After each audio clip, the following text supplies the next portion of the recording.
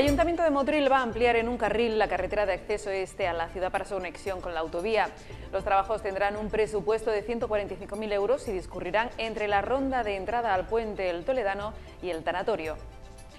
Un saludo a la alcaldesa de Motril, Luisa García Chamorro, señaló que se trata de uno de los compromisos adquiridos con los motrileños para el que se ha realizado un importante esfuerzo y que ha tenido que contar con la autorización de la Diputación de Granada al pertenecer a la Red Provincial de Carreteras. Titulares y ampliamos. El asfaltado del camino del Magistral mejorará las condiciones de acceso de los agricultores de la zona.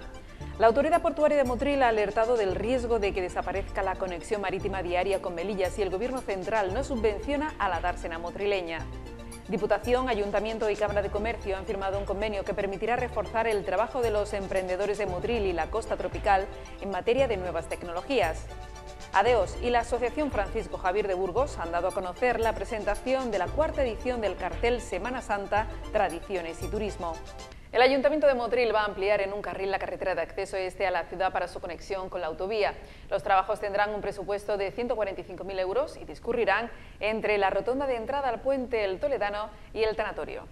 Se trata de una primera fase de mejora de esta entrada a Motril por la carretera que va hacia Pueblo Nuevo, Puntalón, con trabajos en el firme, ampliación de un carril más, desdoblando el sentido de entrada y mejora de la señalización y de las protecciones laterales que resolverán el encuentro con la avenida de Sierra Nevada en una rotonda partida que estará decorada y contará con jardinería. La alcaldesa de Motril, Luisa García Chamorro, señaló que se trata de uno de los compromisos adquiridos con los motrileños para el que se ha realizado un importante esfuerzo y que ha tenido que contar con la autorización de la Diputación de Granada al pertenecer a la Red Provincial de Carreteras el Ayuntamiento de Motril vamos a asumir eh, la construcción de este tercer carril, eh, la ocupación de los terrenos, bueno, pues también a través de los correspondientes convenios con los propietarios eh, se ha solucionado, con lo cual, bueno, pues estamos a punto de adjudicar la, obra, con lo cual, bueno, pues el Ministerio de Fomento cumple con su compromiso de hacer los accesos a Motril, el Ayuntamiento de Motril está también culminando, está también haciendo un esfuerzo importante, como ya he dicho, para adecentar, para mejorar la movilidad del acceso a Motil. Y bueno, pues ya solo queda una administración, que es la administración autonómica, la que teóricamente eh, tenía que haber eh, ejecutado ya la segunda fase de la Ronda Sur que vendría a nacer en la rotonda de las piscinas y vendría a morir justamente en la rotonda que se va a construir ahora a la altura del taratorio, con lo cual, bueno, pues seguiremos insistiendo, seguiremos insistiendo en este tema con la Junta de Andalucía, puesto que el Ministerio de Fomento Gobierno Central está cumpliendo con Motril, el Ayuntamiento de Motril, eh, con recursos propios también estamos mejorando los accesos de Motril y solo falta el compromiso, repito, de la Junta. La alcaldesa de Motril ha vuelto a pedir a la Junta de Andalucía que realice la segunda fase de la Ronda Sur que vendrá a conectar con la nueva rotonda del Tanatorio, ya que, como segunda ciudad de la provincia, se merece unos accesos dignos. Por su parte, el delegado municipal del área de gestión del territorio, Nicolás Navarro, manifestó que se trata de una obra importante que está en licitación, algo que con la actual crisis tiene su dificultad y que se debería haber acometido con anterioridad en los años 2005 y 2006 tras el convenio urbanístico con Playa Granada. En este caso, una obra necesaria porque va a ampliar la plataforma de entrada a la ciudad con dos carriles eh, de entrada y uno de salida, como bien ha dicho Alberto, el técnico municipal, y en este caso pues va a dar mayor fluidez y sobre todo una zona que tenemos que empezar a cuidar y ampliar mucho más porque va a ser la entrada principal de la ciudad en pocos meses gracias a que la autovía va a estar eh, operativa. Eh, por tanto, esos son los meses que tenemos de, plazo para ejecutarla y bueno, es una obra relativamente rápida, ya se han hecho bueno, pues todas las eh, bueno, notificaciones de ocupación de terrenos que por aprovechamiento urbanístico pues estos terrenos pasan a ser municipales y por tanto pues, podemos actuar en esta zona importante. Navarro recordó que se trata de una primera fase para la unión con el acceso a la autovía, tras la cual se ejecutará un segundo tramo entre el final de este y la Plaza de Toros. A partir de ahí será el Ministerio de Fomento quien continúe con la conexión. Los fondos del Plan de Fomento de Empleo Agrícola ha permitido, a través de una subvención de 180.000 euros, el asfaltado de unos 450 metros del Camino del Magistral, también conocido como Camino Antiguo de los Tablones. El responsable del área de agricultura, Nicolás Navarro, ha indicado que esta era una demanda necesaria para la mejora de los agricultores de la zona, por lo que mostró su satisfacción y señaló que se trata de uno de los objetivos de su concejalía, que ya lleva asfaltados más de 30 kilómetros. Eh, este es un compromiso que tiene el gobierno municipal con los agricultores de la ciudad de Motril sobre todo pues dentro de la participación que tenemos dentro del Consejo Municipal Agrario. Este camino pues se ha hecho por las peticiones de los propios eh, agricultores y también ya a partir del último Consejo Agrario pues todos los caminos que se vayan haciendo pues se van a hacer pues, en base a un consenso que ha habido en una puntuación de los caminos que están pendientes todavía de arreglar y sobre todo pues aquellos caminos que mayor servicio den a mayor número de usuarios y por tanto pues en ese sentido pues tratamos de que el consejo tenga vida, de que el consejo pueda decidir los caminos que se tienen que arreglar y en este caso estamos satisfechos de que este camino rural pues se pueda tener y se pueda transitar a partir de unos días con mucha mayor facilidad que en los últimos días. Navarro relató que hasta hace unas semanas el camino del llano del magistral era un lugar intransitable que provocaba a diario dificultades a las personas que trabajan en esta zona, problemas que resuelven estos trabajos que acabarán a mediados del mes de febrero. El presupuesto ejecutado en ellos corre a cargo de las administraciones central, autonómica, provincial y del propio ayuntamiento, como recordaba la alcaldesa de Motril, Luisa García Chamorro, quien señaló su doble función de mejorar las infraestructuras de la ciudad y dar trabajo a los desempleados.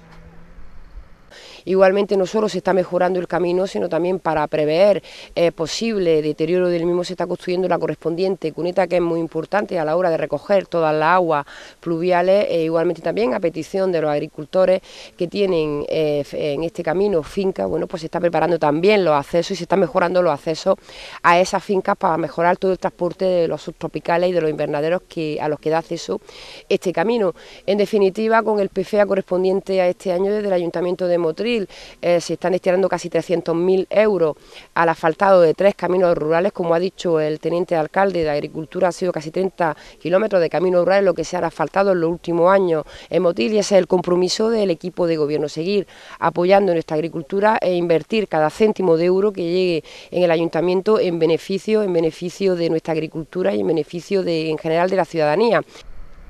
Con fondos del Plan de Fomento de Empleo Agrícola se han arreglado los caminos rurales de la Cruz y del Cementerio de los Tablones, con una inversión total de 240.000 euros. Estas tres obras, con cargo a este plan, han generado trabajo para 10 oficiales de albañilería, un auxiliar administrativo y 320 peones, esos últimos trabajando en periodo de 15 días. Además del personal contratado con cargo al PFA, esta intervención se realiza también con el apoyo de personal y maquinaria del Ayuntamiento de Motril.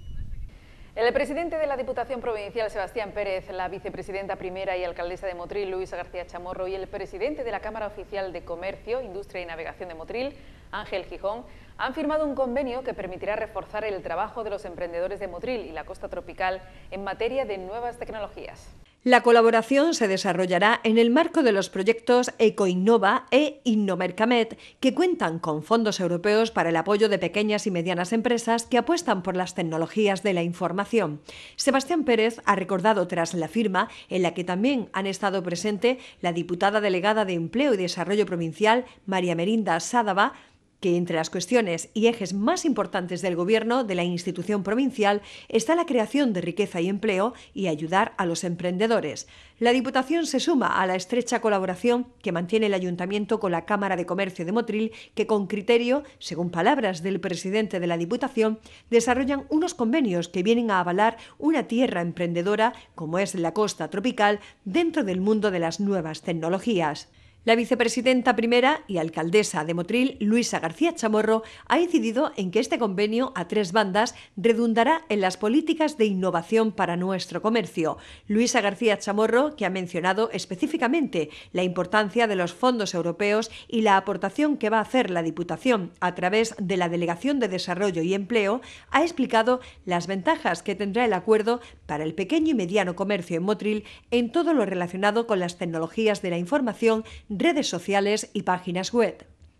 En Motril, afortunadamente, tenemos un comercio muy potente, ha destacado la alcaldesa, que ha recordado que el centro comercial abierto ha sido galardonado en varias ocasiones por la Junta de Andalucía. García Chamorro ha agradecido también el papel de la Cámara de Comercio de Motril en esta iniciativa que persigue la modernización del pequeño y mediano comercio de nuestra ciudad. Como ha destacado su presidente, Ángel Gijón, se persigue una mayor facilidad para las empresas, en este caso de Motril, dentro de su funcionamiento diario a través de las nuevas tecnologías. Hay una magnífica predisposición con Motril y esta es la línea positiva y constructiva que es útil para la sociedad con una colaboración en la que estén implicados los sectores público y privado defendiendo los intereses del sector económico y productivo, recuerda Gijón. La Asociación de Hosteleros de la Costa Tropical ADEOS y la Asociación Francisco Javier de Burgos han dado a conocer que la presentación de la cuarta edición del cartel Semana Santa, Tradiciones y Turismo tendrá lugar el próximo sábado día 18 de enero a las 8 y media de la tarde en el Salón de Actos del Centro Cultural de Caja Granada, en Motril. La presentación correrá a cargo del periodista del diario Ideal, Fernando Argüelles, siendo la autoría del propio cartel del artista motroleño Julián Molina. El acto contará con la actuación de la banda de cornetas y tambores de Nuestra Señora del Rosario y Santana. La Autoridad Portuaria de Motril ha alertado del riesgo de que desaparezca la conexión marítima diaria con Melilla si el Gobierno central sigue adelante con su propósito de dejar a Motril y su puerto fuera del concurso que subvenciona con 15,4 millones de euros las líneas entre Almería y Málaga con Melilla, consideradas de interés público para la navegación. Según afirma el presidente del puerto, Ángel Díaz Sol, incomprensiblemente y sin dar un argumento sólido, el Ministerio de Fomento no incluye a Motril en el concurso, a pesar de los miles de pasajeros que han hecho uso de la línea desde su puesta en funcionamiento en julio del 2010 y que ahora corre el peligro de desaparecer riesgo que también se cierne sobre la estrategia comercial iniciada con Marruecos. Un grupo de alumnos del Colegio Nuestra Señora del Pilar visitan el Ayuntamiento de Motril y se entrevistaron con la alcaldesa Luisa García Chamorro. Los escolares recorrieron distintas dependencias de la Casa Consistorial, donde fueron informados de la historia y actividades de la misma. Desde el patio del ayuntamiento pasaron por alcaldía y finalizaron en el salón de protocolo, donde charlaron con la primera edil. No faltó quien hasta llegó a ocupar por un momento el sillón de la alcaldía de Motril y fue coreado por cumplir años. ¿Y vosotros imagináis que dentro qué edad tiene? Ocho años. ¿Qué Nueve, nueve. Que dentro de... Ya cumple hoy. ¿Hoy es tu cumpleaños? Ah, es cumpleaños feliz, vamos.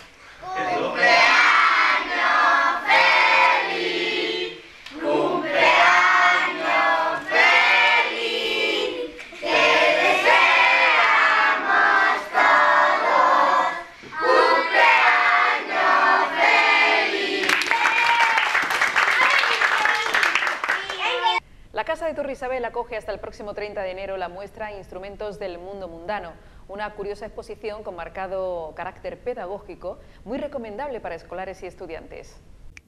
La intención del autor ha sido mostrar más de 180 instrumentos de todos los rincones del mundo que causarán sorpresa a los visitantes a la muestra al observar un grupo tan numeroso de utensilios. Ginecólogos granadinos han publicado un estudio sobre terapia hormonal sustitutiva en la revista oficial de la Sociedad Internacional de Endocrinología Ginecológica. Los resultados de este trabajo fue premiado en el 32 Congreso Nacional de la Sociedad Española de Ginecología y Obstetricia. Los ginecólogos del Hospital Santana de Motril, integrado en el área de gestión sanitaria sur de Granada y del Hospital Universitario San Cecilio, Encarnación Carmona Sánchez, José Luis Cuadros López, Ángela Cuadros Celorrio y Elizabeth Iniesta Iniesta, han estudiado el efecto que el uso durante cinco años de distintas pautas de tratamiento hormonal sustitutivo tiene sobre la densidad mamográfica en mujeres posmenopáusicas. Las conclusiones de este estudio, que han contado con el asesoramiento metodológico de Amanda Rocío González Ramírez, miembro de la Fundación Pública Andaluza para la Investigación Biosanitaria en Andalucía Oriental, Alejandro Otero, ha sido premiado en el 32 Congreso Nacional de la Sociedad Española de Ginecología y Obstetricia y publicados en el número de diciembre de 2013 del Gynecological Endocrinology, revista oficial de la Sociedad Internacional de Endocrinología y Ginecología. El aumento de densidad mamográfica es el cambio radiológico más frecuente entre las usuarias y este cambio depende de la pauta de tratamiento utilizada. El aumento de densidad es un efecto no deseado de la THS y puede disminuir la efectividad de la mamografía de screening. es decir, de la prueba de cribado más efectiva para la detección precoz del cáncer de mama. Sin embargo, aún no se dispone de guías ni protocolos para mejorar la efectividad del screening mamográfico en usuarias de THS, y son pocos los estudios publicados que hayan evaluado el efecto a largo plazo. En los últimos años el miedo al cáncer de mama ha llevado tanto a las usuarias como al personal sanitario al rechazo de la THS, dejando a algunas mujeres con menopausia patológicas y los beneficios que podrían obtener de dicho tratamiento. De ahí la importancia del desarrollo de estudios que aporten más información sobre la relación entre el THS y la mama, que ayude a los profesionales a que las pacientes que lo precisen reciban el tratamiento de una forma individualizada y segura. La pinta roja, el pez espada, los mejillones y los berberechos son las especies de pescado y marisco que acumulan una mayor cantidad de metales tóxicos como mercurio y plomo. Por el contrario, la panga, tradicionalmente considerada como una de las especies más contaminadas, y el bacalao congelado son los dos tipos de pescado más seguros para ser consumidos, según un estudio de la Universidad de Granada que analizó un total de 485 muestras de 43 especies distintas, de las que 25 eran pescados frescos, 12 eran pescados en conserva y 6 eran pescados congelados. De las especies analizadas, el 18% procedía de caladeros de Andalucía, el 42% del resto de España, el 10% de Europa y el 30% del resto del mundo. Las investigaciones realizadas en la Universidad de Granada reveló que la concentración media de mercurio, cadmio, plomo, estaño y arsénico, los metales más tóxicos según la Agencia Española de Seguridad Alimentaria y Nutrición, que se halló en las especies analizadas, están por debajo de los límites admitidos por la Autoridad Europea de Seguridad Alimentaria. Así, solo 6 de las 485 muestras analizadas superaron los límites máximos permitidos, mientras que en 174 los niveles de metales tóxicos fueron incluso inferiores a la cantidad que se puede detectar. Es muy importante tener en cuenta la presencia de selenio, un antioxidante que previene enfermedades cardiovasculares y que está presente en el salmón y la sardina lo que los convierte en dos especies muy recomendadas para su consumo, al contener además una cantidad muy baja de mercurio y una proporción notable de ácidos grasos omega 3. La banda de música de María Santísima de la Esperanza ha encargado la confección de un escudo que lucirá en su guion. Se trata de una obra del artista granadino José Manuel Martínez Hurtado sobre una idea de Santiago Delgado Rubio, prioste primero de la Hermandad de la Esperanza de Granada.